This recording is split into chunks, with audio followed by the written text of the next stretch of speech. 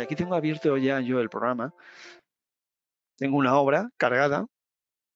Entonces, de lo que os comentaba en una imagen que os había puesto en una de las, en una de las diapositivas del PowerPoint, eh, tenemos aquí el entorno de trabajo, que se divide en dos partes, medición del modelo BIM y la pestaña de presupuesto. ¿Vale? Cuando pasas a la pestaña de presupuesto, pues todas aquellas reglas que han sido asignadas a una partida, pues generaría la medición. En este caso tendría que actualizar para hacer ese paso de generar el presupuesto que lo ya se verá más adelante. Bien, esta la diferencia entre las dos pestañas. Aquí generamos el presupuesto y desde aquí creamos las reglas de medición para generar la extracción de la medición. Para generar la extracción de la medición, lo primero que vamos a necesitar es pues, disponer de los distintos elementos que vienen en el IFC para poder medirlos. En este caso, en este, este proyecto, tiene el IFC que se ha asociado a la obra, tiene estas categorías con los diferentes tipos. Y en este caso, eh, los muros estos muros están medidos cuando aparece en color verde. Bueno, los colores lo que van a ayudar es a saber cómo va el trabajo de avanzado y también si hay algunos errores o cosas pendientes. El color verde significa que ya ha sido extraída la medición de esos elementos, con lo cual si todo el proyecto estuviese en verde es que está todo ya medido de ese modelo IFC. Eh, lo que está en naranja es que está pendiente, no ha sido definida ninguna regla de medición para este elemento, bueno, si dejáis el puntero del ratón sobre los elementos, bueno, el verde. Vale, sobre el verde no te dice nada, pero es que sepáis que el verde que es correcto, es ya tiene la medición hecha. Los demás colores significarían, por ejemplo, el amarillo, que hay un error, mm, lo que no sé si por aquí tengo alguna, bueno, no sé, me, me, aparecerá alguna.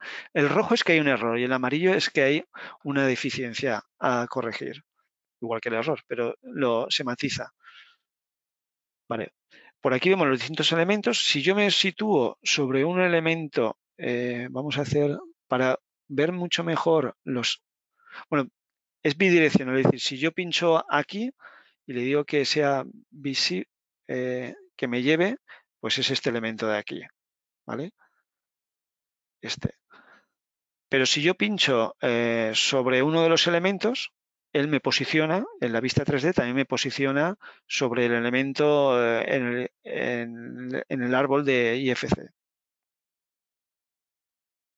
También para poder hacer esto a veces más visible, porque las cosas que mm, son eh, opacas no me permite ver en su interior, por ejemplo la tibiquería, también puedo eh, desde aquí hacerlo transparente o inalámbrico. Bueno, le he dicho inalámbrico, pero creo que no es inalámbrico. Lo vamos a dejar así transparente. Eh, vamos a seleccionar otro muro, a ver. A ver dónde está este. Bueno, este estaba al otro lado.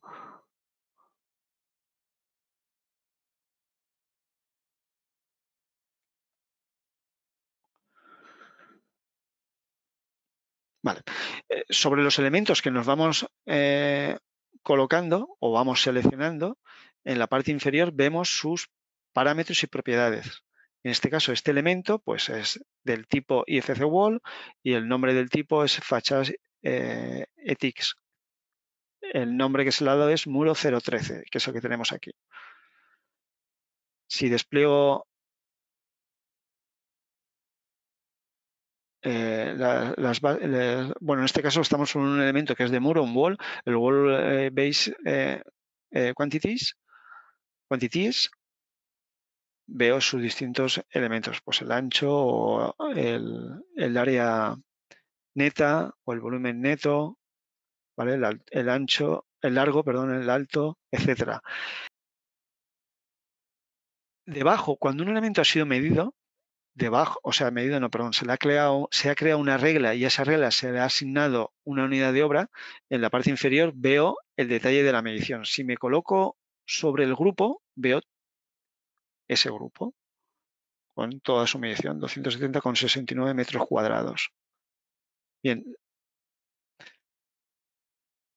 si me coloco, eh, vamos a ir a un elemento, por ejemplo, a una losa, a un forjado. Este forjado también ha sido medido. A ver. Algo que no haya sido medido. Ventanas.